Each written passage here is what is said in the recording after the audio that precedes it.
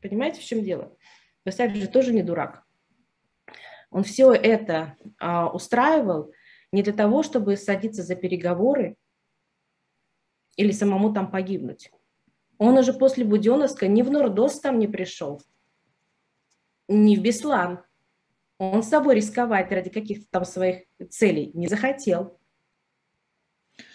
Басаев после Буденовска уже сам а, не участвовал в, ни в Нордосте, ни в Беслане, говорит Елена. И нет в этом мире, смотрите, в мире в этом, на этом земном, на, этой, на этом земном шаре, ни в одной стране этого мира, ни в одном конфликте, войне нет ни одной личности, которая могла бы сравниться с ним по количеству операций, где нужно было рисковать своей жизнью.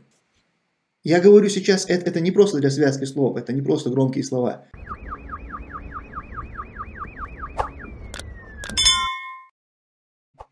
Расскажи, как Масхадов хотел спасти детей из школы Беслана, а вместо помощи они начали штурмовать школу. Было такое. Да, это правда, когда школа в Беслане была захвачена, действительно, Аслан Масхадов вел переговоры, предлагал, чтобы ему дали возможность ну, гарантировали ему, значит, проезд до школы и обратно. Когда не получили ответа, он а, попросил гарантии хотя бы, чтобы и туда, то есть он не просит о гарантии обратно, но а, вместо этого они начали штурмовать. Вообще сегодня 1 сентября, это как раз годовщина этих событий, захвата школы, школы в Беслане. И, как правило, в этот день принято вспоминать эти события, а, различные издания делают какие-то статьи об этом, записывают а, интервью, там, видеофильмы и так далее. И сегодняшний день тоже не стал исключением. А, новая газета сделала интервью с Еленой Милашиной.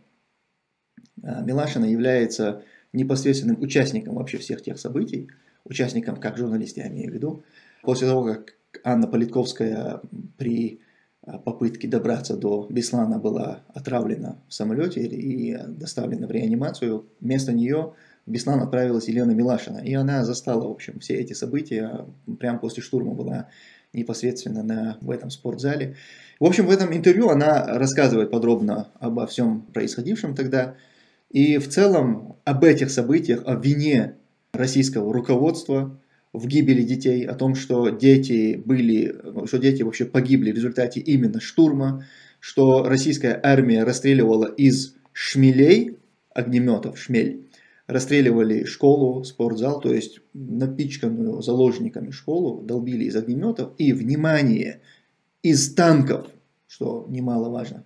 Обо всем об этом говорит Елена Милашина, но в этом фильме есть уже в конце этого фильма есть ее высказывание про Шамиля Басаева, которые я хочу, чтобы мы с вами сейчас э, посмотрели. Понимаете, в чем дело? Басаев же тоже не дурак. Он все это э, устраивал не для того, чтобы садиться за переговоры или самому там погибнуть. Он уже после Буденовска ни в Нордост там не пришел, ни в Беслан, он с собой рисковать ради каких-то там своих целей не захотел. Басаев после Буденовска уже сам а, не участвовал в, ни в Нордосте, ни в Беслане, говорит Елена. И подытоживая, она говорит, риск, он не стал рисковать а, своей жизнью ради своих каких-то там целей. А, вообще Басаев, Шамиль Басаев, отношение к нему может быть каким угодно. Если его кто-то критикует, э, даже как-то там а, а, оскорбляет, да, ненавидит его, тем более, если это происходит не ну, со стороны, допустим, а, пострадавших там в этой школе, чьи дети там были в этой школе и так далее, я к этому, ко всему этому отношусь с пониманием. Я считаю, что любой человек, он может быть любим, может быть ненавистен. И в этом нет проблем. Единственное, я считаю, что в чеченском обществе не может быть, конечно, никаких э, двух мнений по поводу Шамиля Басаева. Однозначно он должен быть для любого чеченца, он должен быть положительной э, фигурой, он, безусловно, является э, нашим героем. Но, тем не менее, любому нечеченцу я даю право его не любить и ненавидеть. И отношусь к этому с пониманием. Но даже ненавидя кого-то, мы должны свидетельствовать о нем правдиво. И сказать о Шамиле Басаеве, что он не захотел рисковать своей жизнью ради каких-то своих целей, но это очень нечестная оценка, неправильная оценка э, этой личности. Шамиль Басаев – это как раз та личность, тот человек, который вообще всю свою известность заслужил именно благодаря тому, что он шел на риски, брал билеты в один конец, рисковал своей жизнью как раз ради своих целей, ради общих целей, ради целей народа, ради свободы, независимости нашего государства, нашего народа, он вообще не, не церемонился со своей жизнью, со своей безопасностью. Это человек, который рискнул этой своей жизнью, впервые вообще взял билет в один конец, когда война еще даже не началась. Захват самолета, который был отогнан в Турцию. Шамиль Басаев был участником этой операции, и это был билет в один конец. Шамиль Басаев а, понимал, когда он садился на этот рейс, что, скорее всего, он не вернется обратно. Либо их, их убьют при штурме, либо их посадят на очень долгие годы в тюрьму. Но так получилось, что они вернулись. После этого Шамиль Басаев отправился в Буденовск. Это тоже был билет в один конец. Он рисковал своей жизнью ради этих целей, ради общих э, целей. Басаев это тот человек, который впереди своих воинов пошел по минному полю и потерял свою ногу. Потеряв эту свою ногу, потом без ноги, этот человек ни разу не выехал с территории а, сражения. Все это время он в лесах, в наших городах, по селам, по населенным пунктам, где-то передвигаясь там перебежками, в блиндажах, в окопах, этот человек всю свою жизнь положил на этой войне где-то во время боев, там, обстрелов терял эту свою, этот свой протез, потом вообще без протеза, без ноги перемещался по этому лесу, пока ему новый протез не, не пришлют. Вот так этот человек, вся его жизнь, она, она вот такая. То есть он, мы бы его вообще не знали бы, если бы он не рисковал своей жизнью. И сказать про него такое, ну, при, при всей нелюбви к нему, его можно назвать, как, обозвать как угодно, да, мы, мы к этому отнесемся с пониманием, но, но сказать, что он не захотел ради каких-то там своих, ради целей, значит, рисковать своей жизнью, это, это величайшая неправда про этого человека. Удивляться тому, что он а, не был в Беслане во время а, этой операции или, допустим, в а, Норд-Осте, но это главный военный амир на тот момент уже всего северо-кавказского сопротивления. Но удив, удивляться этому, это то же самое, что удивляться тому, что министр обороны России не участвовал в штурме школы в Беслане. Почему министр обороны там не участвовал? Потому что он не хотел э, рисковать жизнью ради каких-то своих целей. Ну, я думаю, что министр обороны России действительно не захотел бы рисковать своей жизнью. А Басаев, он, он бы захотел. И он хотел, и он рисковал. Я хочу рассказать одну э, историю, связанную с Шамилем Басаевым. Здесь я общался с э, ветеранами Второй российско-чеченской войны. Они в конце 99-го, начале 2000-го, они были на позициях консервный завод, город Грозный. Это почти окраина Грозного. Э, это время, когда тыл, линия фронта находится уже далеко на подступах в Аргунское ущелье. То есть Грозный находится в тылу, уже полностью окруженный федералами на тот момент. И вот позиция консервный завод – это мост через Сунжу. С этой стороны, со стороны Олимпийского проезда нашей позиции, нашего сопротивления, а за мостом позиции федералов. Во время пересменки как-то так получается, что смена, не дождавшись своей сменки, эти, значит, выдвигаются – и в этот момент, видимо, как-то поняв, что их нет на позициях, российские, значит, эти федералы, они переходят мост и занимают их позицию. Вторая вот эта смена, которая идет на замену, они э, натыкаются уже на шквальный огонь, там погибают несколько наших ребят. В общем, эта позиция э, утеряна. И вот они рассказывают, что их, значит, срочно вызывают э, в Олимпийский, каком-то там подвале здания они, значит, собираются, и там присутствует Шамиль. Шамиль вместе со своими старыми бойцами, то есть это какая-то вот такой костяк его, старая гвардия, люди, прошедшие с ним через Буденовск, взрослые уже, немолодые ребята, раненые, прошедшие там и огонь, и воду.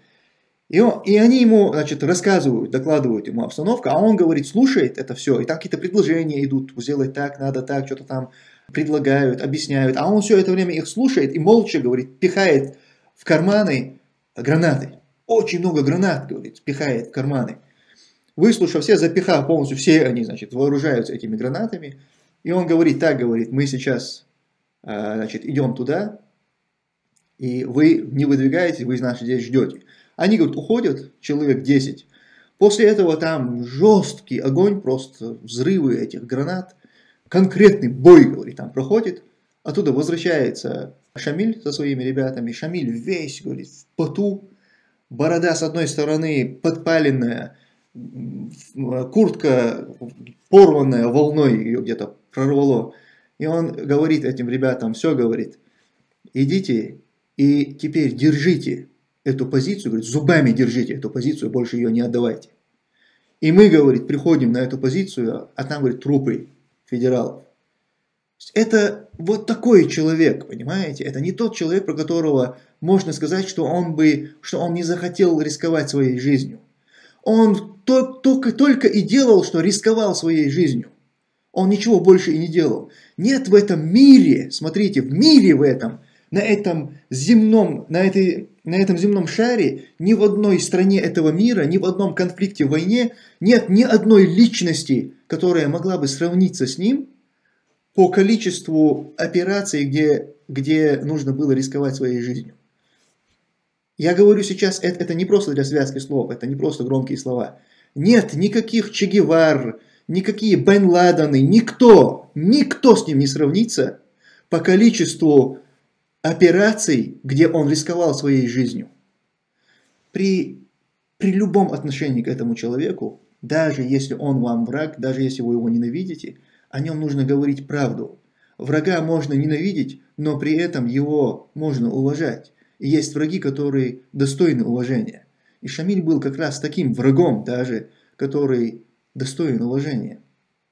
Потому что это был человек безбашенной просто смелости, безбашенной.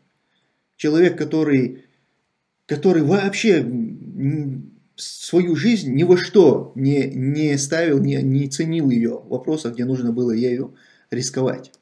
И это мы говорим только о тех ситуациях, в которых он, в которых он участвовал. Вы знаете, сколько было таких моментов, когда он хотел участвовать, но что-то не получилось. Когда в Грузии а, был сел значит, наш самолет с нашим спецназом, это э, грузинские события, связанные с а, внутренней войной Шеварнадзе, Гамсахурде, вот эти, те события, там, начала 90-х.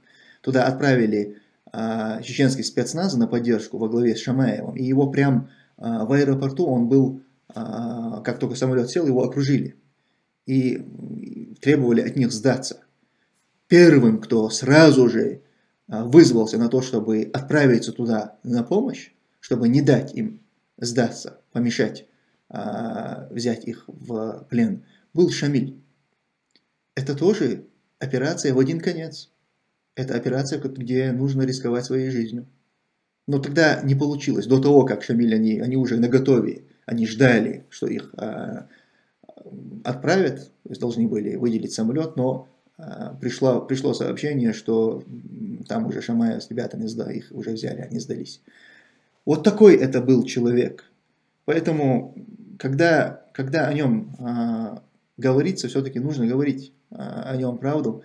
Э, если российские журналисты или тем более родственники погибших в Беслане детей будут ненавидеть Шамиля Басаева и будут как-то очень жестко о нем высказываться – я отнесусь к этому с пониманием. Но говорить о том, что он не рисковал своей жизнью или не хотел рисковать своей жизнью, это крайне нечестно в отношении него. Лучше сказать правду, что это был отчаянный человек, очень смелый, безбашенный просто смелости человек, полководец, который, к сожалению, а, оказался причастным к этой бесланской истории. Я ее никак не оправдываю. Я понимаю, что это величайшая ошибка, которую он совершил. Но при всем при этом он был очень э, смелый, смелым и достойным человеком. Да помилует его Всевышний Аллах и вознаградит его наивысшими э, райскими садами.